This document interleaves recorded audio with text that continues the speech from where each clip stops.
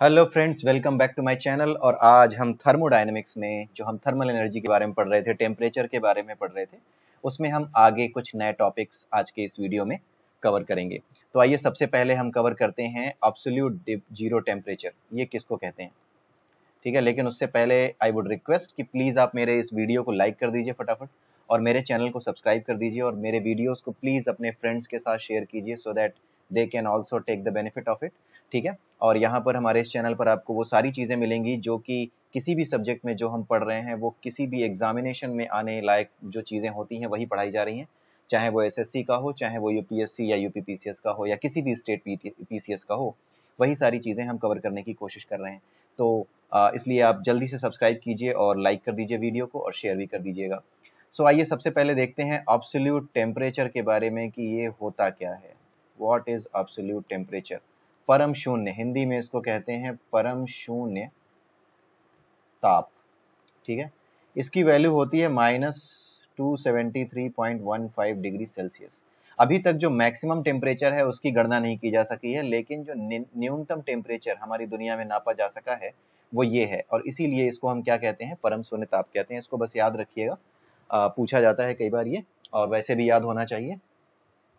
और एक कई बार पूछा जाता है ये क्वेश्चन कि what is the relation between temperature and thermal energy temperature यानी तापमान एंड थर्मल एनर्जी ठीक है? थर्मल एनर्जी और टेम्परेचर में क्या डिफरेंस क्या रिलेशन होता है? थर्मल एनर्जी आपको पता है कि जितने भी एटम्स होते हैं आपके मैटर में उन सब की जितनी भी काइनेटिक एनर्जी होती है, सबकी काइनेटिक एनर्जी जब आप जोड़ देते हैं, तब आपको क्या मिलती है? थर्मल एनर्जी मिलती है। ठीक है? जब हम टेम्परेचर बढ़ाते हैं टेम्परेचर जैसे ही बढ़ाते हैं, वैसे ही आपको पता है कि जितने भी एटम्स हैं, जितने भी मॉलिक्यूल्स हैं, उनकी क्या बढ़ जाती है? काइनेटिक एनर्जी क्या हो जाती है? बढ़ जाती है। इसके बढ़ने पर काइनेटिक एनर्जी भी बढ़ जाती है which means temperature and kinetic energy both are equivalent to each other both are directly proportional so temperature बढ़ने पे kinetic energy बढ़ेगी which means thermal energy भी क्या होगी ultimately बढ़ जाएगी तो ये relation आप याद रखिएगा ताप और ऊष्मीय ऊर्जा में संबंध ठीक है इसको ऊष्मीय ऊर्जा कहते हैं थर्मल एनर्जी को ओके अब हम आगे देखते हैं थोड़ा नीचे आते हैं इसमें नया टॉपिक शुरू करते हैं इसमें सो अब हम देखते हैं थर्मोमीटर्स कितने तरीके के होते हैं। तापमापी। ताप नापने के लिए कुछ यंत्र बनाए जाते हैं। उन्हीं को क्या कहा जाता है? तापमापी कहा जाता है। इंग्लिश में इनको कहते हैं थर्मोमीटर ठीक है? इंग्लिश में इनको थर्मोमीटर कहा जाता है। तो थर्मोमीटर कितने तरीके के होते हैं? सबसे पहले देखते हैं हमारा पहला जो थर्मोमीटर टाइप होता है, वो है द्रव तापमापी। इंग्लिश मीडियम वालों के लिए लिक्विड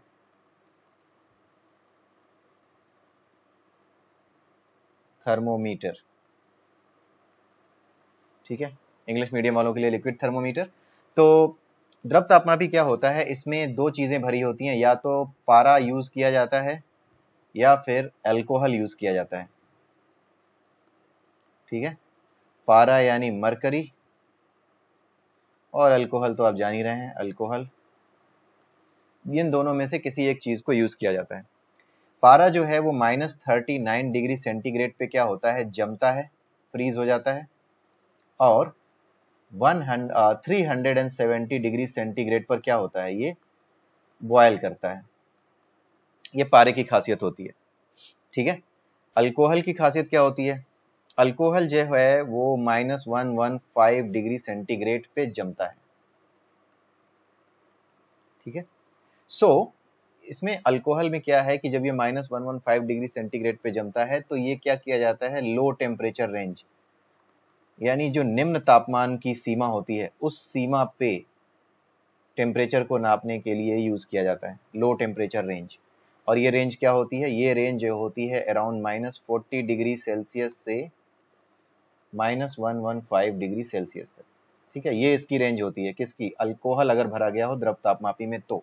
अगर पारा भरा गया हो देन पारा भरे होने पे आप जो है 30 डिग्री सेंटीग्रेड से शुरू करते हैं और 350 डिग्री सेंटीग्रेड तक ले जाते हैं। ये इसकी रेंज होती है। यानी जो अब हम, जब हम पारा भरते हैं अपने लिक्विड थर्मोमीटर में तो हम 30 डिग्री सेंटीग्रेड से लेकर के 350 डिग्री सेंटीग्रेड तक का टेम्परेचर नाप सकते हैं। ठीक है? आइए आगे देखते हैं कुछ नए टॉपिक्स टॉपिक्स क्या? नए थर्मामीटर के बारे में पढ़ते हैं। अगला थर्मामीटर है हमारा डॉक्टरी थर्मामीटर डॉक्टर्स ये तो आप सबने देखा ही होगा और आपको पता ही होगा। आपको पता है कि हमारा शरीर जो है वो टेम्परेचर जो मेंटेन रखता है, जिसपे हमारे शरीर की सभी क्रियाएँ सभी रूप, सही रूप से चलती हैं। हमारे सारे एक्शंस हमारी बॉडी में जितने भी एक्शंस हो रहे हैं, जो भी काम हो रहा है, जितना भी मेटाबॉलिज्म हमारा फॉलो हो रहा है, वो 37 डिग्री सेंटीग्रेड पे प्रॉपर चलता है। और मैक्सिमम जा सकता है 43 डिग्री सेंटीग्रेड तक, और इसके बाद अगर गया तो हम गए। इस टेम्परेचर से ऊपर टेम्परेचर के आसपास अगर हमारा टेम्परेचर हो गया इवन बीच में ही 40 के आसपास भी पहुँच गया तो बहुत ज़्यादा बुखार माना जाएगा, और वो डेथ की ओर भी ले जा सकता है डेथ हो सकती है। ठीक है? तो ये जो डॉक्टरी थर्मामीटर होता है, अगर वो सेल्सियस में होता है तो 37 डिग्री सेंटीग्रेड से लेकर के 43 डिग्री सेंटीग्रेड तक जाता है। लेकिन अगर आप इसको 37 और 43 को किसमें कन्वर्ट करें? फॉरेन हाइट में। हमारे पास जो तापमापी होता है ना, वो फॉरन हाइट वाला होता है, जो हमारे घर पर होता है। तो 37 डिग्री सेंटीग्रेड को अगर आप उसमें कन्वर्ट करें तो आता है 98.6 डिग्री फॉरेन हाइट ठीक है? और 43 डिग्री को कन्वर्ट करें तो 110 डिग्री फॉरेन हाइट आता है। तो इस रेंज में आपने देखा होगा कि आपका टेम्परेचर नापने वाला जो घर में आपके जो थर्मामीटर रखा होता है, वो इस रेंज में टेम्परेचर नापता है। अगर आपका 98.6 से ऊपर जाने लगा 99 या 100 आने लगा तो आप कहते हो आपको फीवर हो गया है। ठीक है? अगर इसके बीच में कहीं आता है फीवर हो गया, यहाँ तक तो आप जाते ही नहीं उसके पहले 105 106 पे आप ढेर हो सकते हो। आपकी डेथ हो जाएगी। ठीक है? सो ये डॉक्टरी थर्मामीटर इस रेंज में टेम्परेचर को नापता है और आप अगर कन्वर्ट करना चाहें टेम्परेचर को सेल्सियस से थर्मामीटर में में तो आपको पता ही है। F minus thirty two by nine इस फॉर्मूले से आप कन्वर्ट कर सकते हैं। ठीक है? तो ये पिछले वीडियो में हमने इसको डिस्कस किया था। आप पिछली वीडियो देख सकते हैं, अगर ये फॉर्मूला आपको नहीं पता है तो। ठीक है? और आइए अब देखते हैं अगला थर्मामीटर अगला थर्मामीटर है gas thermometer.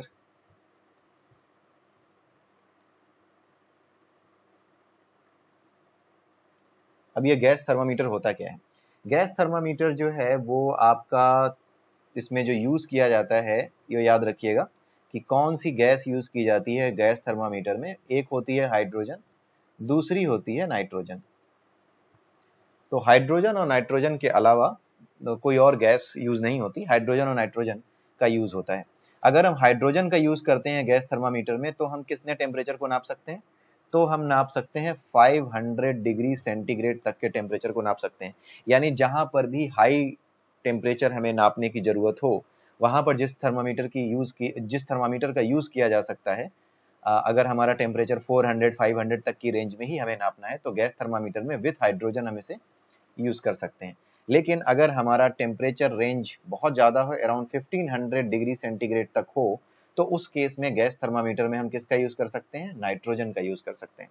So I hope कि आपने ये समझ लिया होगा। नॉर्मली ये क्वेश्चन पूछा जाता है कि गैस थर्मामीटर में हाइड्रोजन और नाइट्रोजन में से कौन सा जो है वो ज़्यादा टेम्परेचर को नाप सकता है? तो ये क्वेश्चन आता है, इसलिए आप ये याद रख सकते हैं 500 डिग्री सेंटीग्रेड और 1500 डिग्री सेंटीग्रेड लेकिन अगर आप इसको डिटेल में पढ़ना चाहते हैं तो आप जा सकते हैं, गूगल पे सर्च मार के इसके बारे में पढ़ सकते हैं। इसके बारे में ज़्यादा पूछा नहीं जाता है। अपनी जानकारी के लिए अगर आप इसके बारे में और जानकारी इकट्ठा करना चाहते हैं, अपनी, अपने नॉलेज के लिए तो फिर आप गूगल से या फिर यूट्यूब पर जा करके आप और इसके बारे में जानकारी इकट्ठा कर सकते हैं। ओके, अब हम आते हैं एक अलग ही टाइप के टेम्परे थर्मामीटर पे, जो कि आपने पहले भी, अगर आपने मेरी रेगुलर क्लासेस अटेंड की हैं तो आपने देखा होगा कि एक हमने पढ़ा था सीबेक इफ़ेक्ट। सीबेक प्रभाव। ठीक है? सीबेक प्रभाव पर आधारित एक थर्मामीटर होता है, उसको कहते हैं ताप युग्म। तापमापी। ठीक है? इंग्लिश मीडियम वाले घबराए नहीं, इसको कहते हैं थर्मोकपल।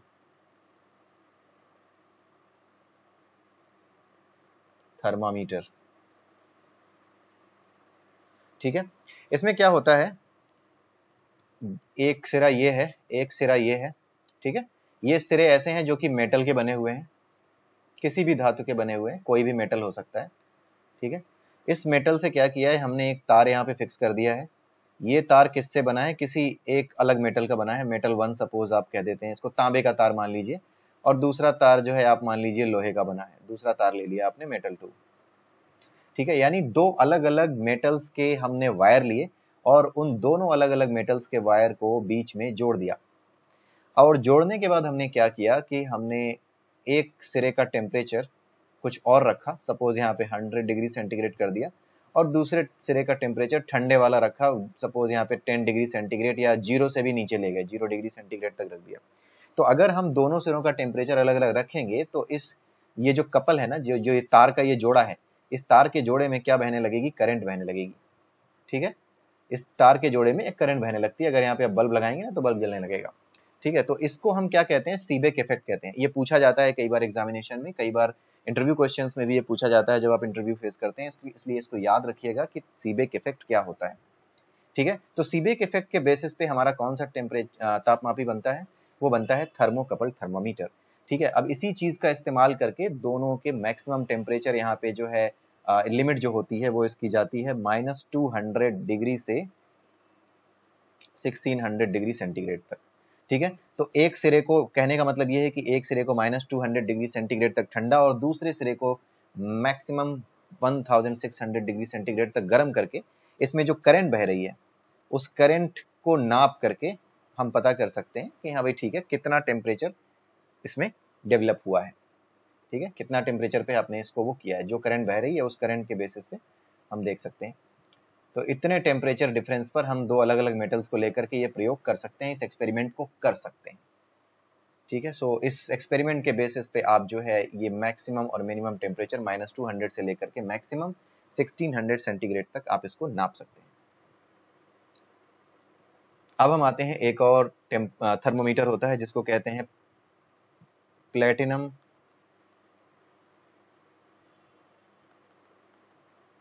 Resistance thermometer. ठीक है? रेजिस्टेंस आपने पढ़ा होगा। अगर कोई तार हो मेटल का तो इसमें करंट बह सकती है। ठीक है? लेकिन इस करंट के बहने पर क्या होता है? इस तार में कुछ जो है ये तार उस मेट, मेटल में जो करंट बहती है उस करंट के रास्ते में रुकावट डालता है। ठीक है? करंट के फ्लो के रास्ते में जो रुकावट आती है, उसी को क्या कहते हैं? प्रतिरोध कहते हैं। या फिर रेजिस्टेंस कहते हैं, जो यहाँ लिखा हुआ है। रेजिस्टेंस उसी को कहते हैं। ठीक है तो धारा के प्रवाह में, यानी इलेक्ट्रिक करंट के फ्लो में जो रुकावट आती है, उसी को हम क्या कहते हैं? प्रतिरोध कहते हैं। होता यह है कि प्लेटिनम का जैसे जैसे टेम्परेचर बढ़ाते हो टेम्परेचर जैसे जैसे अप करते हो वैसे वैसे इसका दिस इम्प्लाइज कि इसका रेजिस्टेंस भी अप जाता है। यानी टेम्परेचर बढ़ाने पर रेजिस्टेंस भी बढ़ता है। ठीक है?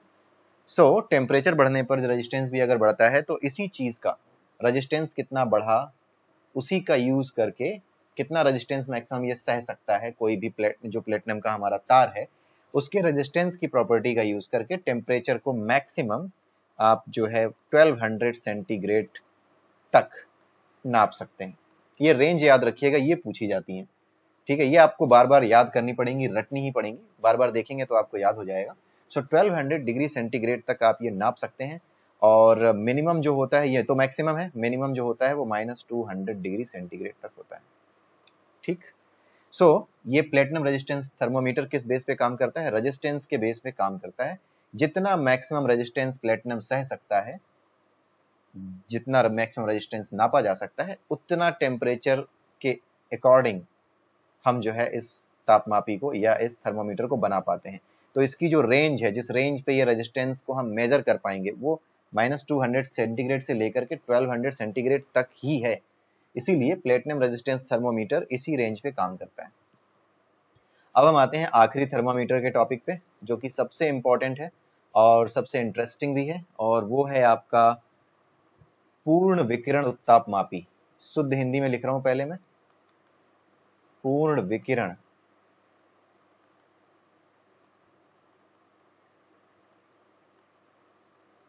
तापमापी। इंग्लिश में इसको कहते हैं टोटल रेडिएशन पायरोमीटर ठीक है? टोटल रेडिएशन पायरोमीटर इंग्लिश में इसको कहते हैं। इसमें क्या होता है?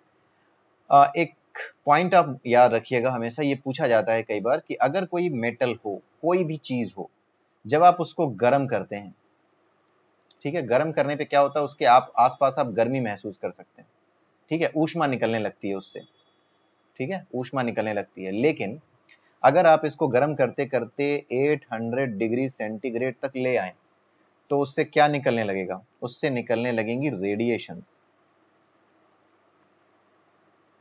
ठीक है? यानी मिनिमम 800 डिग्री सेंटीग्रेड चाहिए ही चाहिए। इस पॉइंट को आप याद रखिएगा। मिनिमम 800 डिग्री सेंटीग्रेड टेम्परेचर चाहिए ही चाहिए। अगर आप चाहते हैं कि आपका जो मेटल है जो भी मेटल आप जिसे आप गर्म कर रहे हैं उसका मैक उससे रेडिएशन निकलने लगे। राइट तो 800 डिग्री सेंटीग्रेड पे रेडिएशन निकलना शुरू हो जाती है। ठीक है? सो so, एक नियम होता है। वो जो नियम होता है उसमें आ, क्या कहा गया है कि अगर हम किसी वस्तु का तापमान, किसी चीज़ का टेम्परेचर बढ़ाते जाएँ, ताप अगर बढ़ाते जाएँ तो उससे निकलने वाली जो विकिरण की मात्रा होती है, ठीक है? उससे जो विकिरण की मात्रा होती है, वो किसके बराबर होती है? परम ताप के रेस टू दावर फोर परम ताप के फोर्थ टाइम्स फोर्थ टाइम्स नहीं raise to the power four times value होती है उस विकिरण की, जो निकलेगी राइट तो इसका मतलब है कि जो निकलने वाली विकिरण की ऊष्मा है, वो कितनी होगी? विकिरण ऊष्मा कितनी होगी? विकिरण, इसको रेडिएशन कहते हैं। आई होप कि बार बार लिखने की ज़रूरत नहीं पड़नी चाहिए। तो ये किसके करस्पॉन्डिंग होती है? T raise to the power four T क्या है? परम ताप है। ये एक फॉर्मूला है। ठीक है? ये फॉर्मूला के बेसिस पे आप इसको याद रखिए कि जो विकिरण निकलेगी, जो रेडिएशन निकलेगी, वो परम ताप, यानी ऑब्सोल्यूट टेम्परेचर के raise to the power four होगी। ठीक है? तो इसी प्रिंसिपल का यूज़ करके आपका जो है ये रेडिएशन थर्मल कंप्लीट रेडिएशन जो टोटल रेडिएशन पायरोमीटर है वो बनाया जाता है।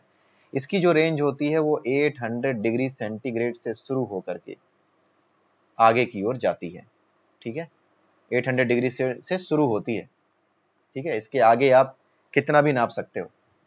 राइट अपनी क्योंकि इससे हम ना इस दुनिया में किसी चीज़ का तापमान नहीं नापते। इससे हम जो हम नापते हैं तापमान वो तापमान होता है किसका तापमान? खगोलीय पिंडों का तापमान। ठीक है? खगोलीय पिंड, यानी जो आपके यूनिवर्स में ऑब्जेक्ट्स हैं। जैसे सूर्य हुआ, या फिर दूसरे ग्रह हुए जो बहुत दूर हैं, उनका तापमान नापने के काम ये आता है। राइट तो खगोलीय पिंडों का तापमान किससे नापा जा सकता है? पूर्ण विकिरण उत्तापमापी से ये आप याद रखिएगा। और इनके टेम्परेचर तो बहुत ज़्यादा होते ही हैं, जैसे सूर्य का टेम्परेचर है ऑब्वियसली उसका टेम्परेचर 800 डिग्री सेंटीग्रेड तो कुछ है ही नहीं उसमें तो लाखों में टेम्परेचर है उसके सूर्य का जो है।